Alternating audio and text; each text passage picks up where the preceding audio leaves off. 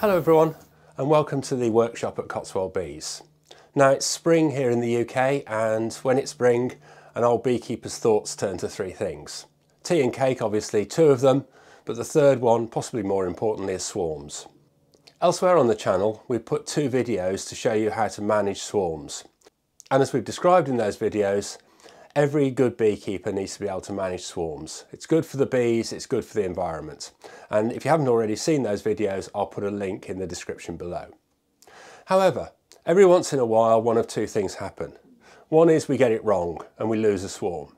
And that happens to every beekeeper, no matter how good they are. The other thing is, our apiaries are very attractive to bees and to swarms, and a swarm of bees from somebody else's hive can move into our apiary. And if that happens, we want to be able to easily move it out of our apiary, just in case it's diseased, to a separate area where we can check them and make sure that they're okay. So in order to do that, we need to build a swarm trap. And swarm traps are really useful things and very, very easy to make. All you need is the following. A box, an old nuc box is brilliant. If you haven't got one, you could either make one or you could even buy one of the cheap Correx nuc boxes that are available. We need some old comb and a frame and we need some lemongrass oil. And that's all we need to make our swarm trap. So let's go about making it. So here's my old nuc box and this was a method that was recommended to me on a beekeeping lecture a long time ago and it seems to work very very well. So we take our nuc box we take an old frame, and this, this frame, as you can see, is quite dark and horrible. It's one that I've actually taken out of a hive that I know is disease-free, no problems with it, but it's got to the stage now where it needs replacing. So I took it out this spring, and I'm going to put that into my nuc box. And then between these two frames, I'm going to put a blank frame with no foundation in. And Finally, I'm going to take another old frame, the old manky old frame that I took out, and I'm going to put that in. So now I've got the advantage of a box that smells of bee. In order to enhance that a little, I'm going to put a few drops of lemongrass oil in. Now, all we need are really three or four drops. And I'm just going to put those onto the comb.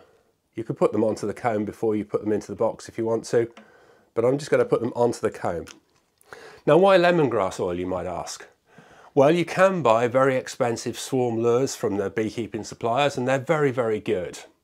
But actually it's thought that lemongrass oil mimics Nasonov pheromone. And Nasonov pheromone is the pheromone that the bees give off to actually attract uh, their bees back to the hive and to show where their queen is.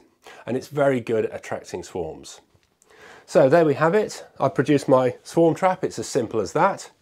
All I need to do is put the top back on the box.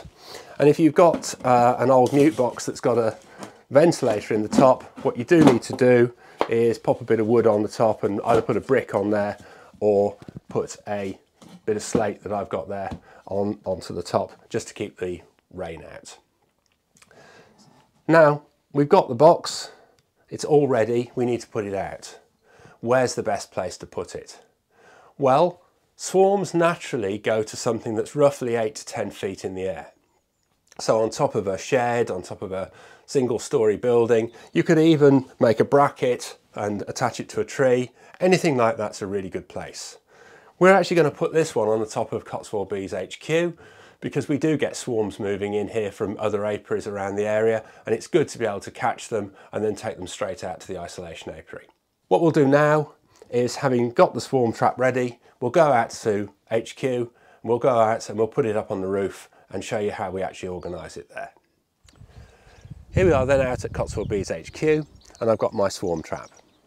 Now, when I put it up, beekeepers will argue long into the night as to which way it should actually face. I'm not too excited about that.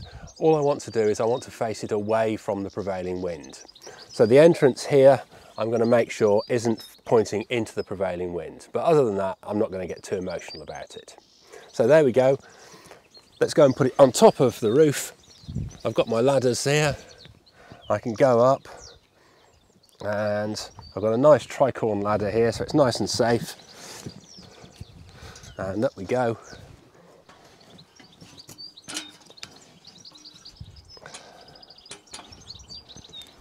And I'm simply going to place the swarm trap on top of the roof.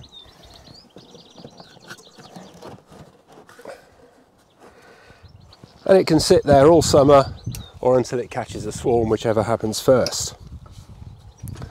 What I'm going to do is I'm going to make absolutely certain that regularly I look up at it.